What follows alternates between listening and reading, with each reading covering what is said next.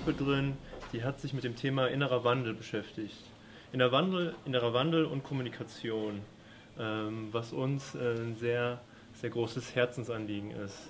Ähm, wir haben festgestellt, dass wir in unserer Gesellschaft stark äh, mit dem Kopf denken, äh, Sachen probieren zu analysieren und Lösungen zu finden und ähm, damit auch gerne ins Machen gehen, in die Hand, ins Wirken und ja, es, wir funktionieren quasi wie Maschinen. Also wir haben eine Strategie, gehen in die Hand und äh, probieren Sachen äh, damit zu lösen.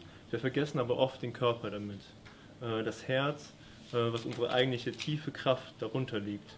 Und das ist auch wichtig, ähm, denke ich, für den inneren Wandel ähm, ins Bewusstsein äh, zu rufen. Da ähm, haben wir uns Gedanken gemacht. Es gibt äh, viele unterschiedliche, unterschiedliche Ansätze, die können von Meditation, Yoga gehen zur einfach achtsamen äh, Achtung miteinander. Und genau, da haben wir uns Gedanken gemacht und äh, werden die hoffentlich auch bald äh, in Praxis umsetzen können. Dankeschön.